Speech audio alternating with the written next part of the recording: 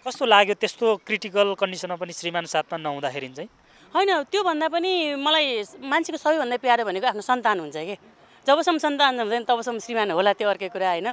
सन्तान आफूसँगै थिए आमा बुवा आफूसँगै थिए। कलाकारहरूलाई नि चुनाव लागेको हो। अहिले रेखा थापादेखि धेरै कलाकर्मी उठ्या छन्। उहाँहरूलाई के भन्न चाहनुहुन्छ? होइन उठ्नु नराम्रो कुरा होइन होइन। उठेर जितेर कलाकारले गर्यो भन्ने देखाओस्। रवि लामिछानेको नाम लिनुभयो। जित्नु होला त उहाँले?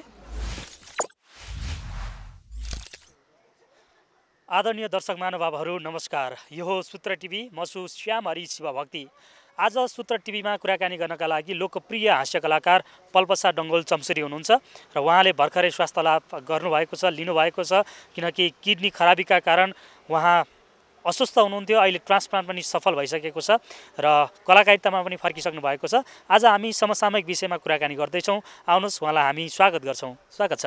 धन्यवाद अनि नमस्ते सबैलाई। स्वास्थ्य कस्तो छ अहिले? अहिले ऊ यस्तै छु। राम्रो छ एकदम राम्रो छ। कति भयो ठ्याक्कै ट्रान्सप्लान्ट गरेको? फागुन पच्चिस गते गरेको अब अब कति आज कार्तिक मङ्सिर। कार्तिक? कार्तिकको अब सात महिना पुरा भएर आठ महिना। यो खुसियाली फेरि फर्किएको छ। एकदम खुसियाली फर्केको छ। घरमा के भन्छन्? सबैजना खुसी हुनुहुन्छ सबैभन्दा ठुलो कुरा त मसँग पनि खुसी मेरो भाइसँग सबैभन्दा धेरै खुसी सबैजना। भाइले किनी दिएर नि त म यति भएँ। त्यो कारणले गर्दा घरमा सबै परिवार एकदम खुसी हुनुहुन्छ। थोरै काम गर्नु यतायति नहिँड्नु भन्नुहुन्छ त्यही हो। दोस्रो जुनी पाए जस्तै लाग्छ? लाग्छ मलाई त। एकदमै दोस्रो दिने पाएको जस्तै लाग्छ। अब त्यो त्यति बेलाको हस्पिटलको कन्डिसन हेरेर अहिले म यति हुनु भने त मेरो लागि पनि एकदमै यो दोस्रो जुनी नै हो। कतिको गाह्रो हुँदो रहेछ त्यो अपरेसन थिएटरमा बस्दै गर्दाखेरिको अलिकति सुनाउनु न? अनुभव कस्तो रह्यो? अपरेसन थिएटरमा बस्दाखेरि त बेहोसै हुन्छ थाहा हुँदैन। त्योभन्दा अगाडि जब अपरेसन गर्नलाई लगिन्छ त्यति बेला होस हुँदासम्म चाहिँ मलाई मेरो के पनि मलाई डर थिएन म ठिक हुन्छु नै भन्ने फिल भएको थियो। सँगै मलाई भन्दा पहिला भाइलाई हामी दुईजना सँगै लान्छ र भाइलाई पहिले चाहिँ जो दिने मान्छे उसलाई पहिला भित्र लान्छ। मलाई पिर यति मात्रै थियो कि मेरो भाइलाई के हुने होला कस्तो होला त्योभन्दा पनि उसले दिइसकेपछि मलाई किडनीले काम गर्ला कि नगर्ला त्यो मात्रै पिर थियो कि? मलाई मेरो चाहिँ मलाई म मलाई ठिक हुँदैन मलाई म मलाई डर लाग्ने त्यस्तो भन्ने चिज के पनि मनमा आएन मलाई। फर्दर चेकअपका लागि गइरहनु पर्छ कि अब जानु पर्दैन हस्पिटल? पर्छ। अब पहिला अहिले अबबाट चाहिँ एक एक महिना दुई दुई महिना बोलाउनु थाल्यो पहिला त हप्ता हप्तामा जानु पर्थ्यो। श्रीमानले के भन्नुहुन्छ? सबै खुसी छ के भन्नु? खुसी हुनुहुन्छ। अब यो अब मर्न ला मान्छे बाँच्यो भनेर सबै खुसी हुनुहुन्छ। श्रीमान बाहिर हुनुहुन्थ्यो होइन? हजुर। अहिले नेपाल आउनु भएको छ कि उतै हुनुहुन्छ? छैन बाहिरै हुनुहुन्छ। कस्तो लाग्यो त्यस्तो क्रिटिकल कन्डिसनमा पनि श्रीमान साथमा नहुँदाखेरि चाहिँ? होइन त्योभन्दा पनि मलाई मान्छेको सबैभन्दा प्यारो भनेको आफ्नो सन्तान हुन्छ कि। जबसम्म सन्तान हुँदैन तबसम्म श्रीमान होला त्यो अर्कै कुरा होइन। सन्तान आफूसँगै थिए आमा बुवा आफूसँगै थिए उहाँ भए पनि मलाई हुने पीडा त्यति नै हो नभए पनि हुने पीडा त्यति नै हो म बच्नुपर्छ भन्ने मात्र मलाई थियो। यो त्यो यताउति कोही भन्ने मलाई केही नै फिलै भएन त्यस्तो। यो त थियो खुसीको कुरा। अब सिरियलतर्फ जाउँ कुन कुन सिरियल खेलिरहनु भएको छ अहिले? अहिले त मैले मेरो व्यवसाय मात्रै गरिरहेको छु अहिले। कस्तो हुँदैछ त? मेरी भाषामा त तपाईँ सुरुवाती कालदेखि जोडिने र अहिलेसम्म नछोड्ने कलाकार पनि पढ्नुहुन्छ नछोड्ने भन्दा बिचमा एक वर्ष चाहिँ बिरामीको कारणले छोड्नु पऱ्यो तर बिचमा ट्रान्सप्लान्टको बेलामा पनि आठ दस भाग गएर खेलेँ। अहिले पनि गएर खेलेँ। त्यो मेरी बासेमा जाँदा चाहिँ आफ्नो परिवार जस्तै हुन्छ। अब कति मान्छे नहुँदा परिवार परिवारको मान्छे छोडेर विदेश गए जस्तो फिल हुन्छ मलाई चाहिँ। अहिले रोल कस्तो छ? पहिला जस्तै चम्सुरीकै रोल गर्नु भएको छ कि केही फरक? सेम त्यही चम्सुरी नै हो। मेरी बासेमा त चम्सुरी भन्दा अरू हुने। अन्त त चम्सुरी नै भइसक्यो। मेरी बासेमा चेन्ज हुने त कुरै आएन नि।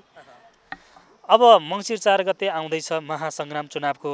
यो परिप्रेक्ष्यमा तपाईँ त अब लामो समय भइसक्यो भोटरको रूपमा पनि हुनुभएको होइन। चुनावलाई कसरी हेरिरहनु भएको छ? हेर्ने त जहिले पनि राम्रो होस् राम्रो नेता होस् देश देश विकास होस् भनेर हेर्ने हो। अहिलेसम्म भएको छैन। अबको चुनावले चाहिँ केही चेन्ज गर्ला कि चेन्ज होस् भन्न चाहन्छु म चाहिँ। तपाईँ पर्टिकुलर कुनै पार्टीमा आबद्ध हुनुहुन्छ कि स्वतन्त्र हो? म एकदमै स्वतन्त्र कुनै पनि पार्टीमा छुइनँ अहिलेसम्म र हुँदिनँ पनि होला सायद। यो पटक धेरै ठाउँमा स्वतन्त्र उम्मेद्वारहरू पनि उठ्नु भएको छ। कसले जितोस् भन्ने लागेको छ। पुराना नेतालाई चाहिँ अब पाखा लगाउनुपर्छ भन्ने कुरा नो नट अगेन। अभियान पनि चलिरहेको छ। तपाईँ के भन्नुहुन्छ यसमा? अब हुन त अब जस्तै यो बालिन शाहहरू जस्तो अरू जस्तो त्यस्तो खालको काम गर्ने खालको आयो भने स्वतन्त्र ठिक छ। यदि कामै नगर्ने खाले आए पनि स्वतन्त्र आए पनि कुनै पार्टीको आए पनि त्यही हो। सब जुन जो आओस् पार्टीकै आओस् स्वतन्त्र आओस् तर काम गर्ने देश विकास गर्ने देशलाई राम्रो गर्ने खालको आओस् भन्न चाहन्छु म चाहिँ। चुनावमा भोट हाल्न तपाईँ कतिको आतुर हुनुहुन्छ त? आतुर छुइनँ म। छुइनँ हाल्नै पर्ने भएर हाल्ने भन्ने मात्र भएको छ मलाई। किनभने यत्रोचोटि हालिसकेँ भोट केही उपलब्ध माथि जानुपर्छ त झन् झन् तल तल आइरहेको छ। देश त्यो कारणले गर्दा त्यति मलाई त हाल्नै पर्छ तर आफ्नो आफ्नो आफ्नो आफूले पाएको अधिकार त गर्नु पर्यो होइन? उपयोग गर्नु पर्यो भनेर मात्रै हो। नत्र यो यो अहिलेको माहौल देखेर त्यति जाँगर चाहिँ छैन तर गराइहाल्न चाहिँ हाल्छु। कुन जिल्लाबाट हुनुहुन्छ? कुन क्षेत्रबाट? म काठमाडौँबाटै हो। यो काठमाडौँको बालाजुस यो सोह्र नम्बर हो। अब कुन क्षेत्र पर्छ त्यो? मलाई थाहा छैन त्यो चाहिँ अहिले। कलाकारहरूलाई नि चुनाव लागेको हो। अहिले रेखा थापादेखि धेरै कलाकर्मी उठ्या छन्। उहाँहरूलाई के भन्न चाहनुहुन्छ?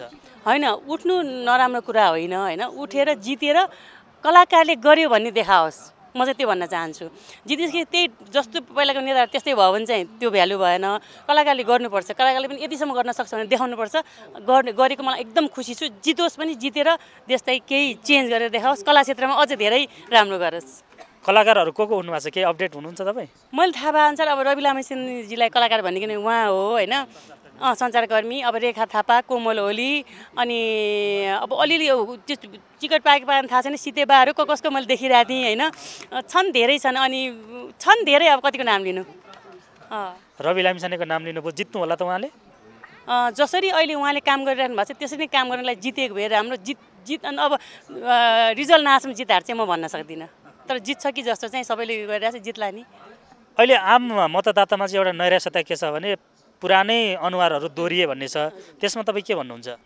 होइन अब दोहोरिए भन्दा पनि उहाँहरूसँग अनुभव छ राम्रो काम गर्नुभएको भए त एकदमै ठिक थियो। कसैले भन्दैन थियो होला दोहोरिए भन्दैन थियो होला दोहोऱ्याउनु पर्छ भन्थ्यो होला। उहाँले जति समय जित्नुभयो त्यति समय राम्रो काम गर्नु भएन जस्तो लाग्यो मलाई चाहिँ। त्यही भएर मान्छेले दोहोऱ्यो दोहोऱ्यो भने नत्र दोहोर्नुपर्छ दोहोर्नुपर्छ भन्थ्यो नि। तपाईँको नि दुई छोरी छन् भोट हाल्नका लागि उमेर पुगेको छ कि छैन छोरीको? अँ, उमेर पुगिसकेको छ बिस वर्ष पुगिसकेको छ तर त्यो जुन बेला फोटो खिच्न आउने बेला पनि बच्चाहरू घरमा नभएर हो कि उनीहरूको भोटर लिस्टमा नाम छैन। तपाईँ त मत खसाल्नु हुन्छ नि? म त खसाल्छु मैले त धेरै वर्ष भयो खसाल्न थालेको खसाल्छु म चाहिँ। अन्तिममा के भन्नुहुन्छ जो तपाईँलाई हेरिरहनु भएको छ हामी चुनावी कुरा पनि गऱ्यौँ स्वास्थ्यको कुरा पनि आयो सिरियलका कुरा पनि आए तिन कुरा आए र के भन्न चाहनुहुन्छ दर्शक? म तिनै कुरालाई सम्मिश्रण गरेर के भन्छु भने मेरी भाषा पनि हेरिदिनु होला। म एकदम ठिक भएको छु तपाईँहरूको माया ममताले गर्दा एकदमै राम्रो भएको छु र चुनाव आइरहेछ चुनावमा सही मान्छेलाई छानेर भोट दिनु होला देश विकास गर्ने मान्छेलाई छान्नु होला। त्यही भन्न थ्याङ्क यू सो मच एकदम थ्याङ्क यू तपाईँलाई पनि।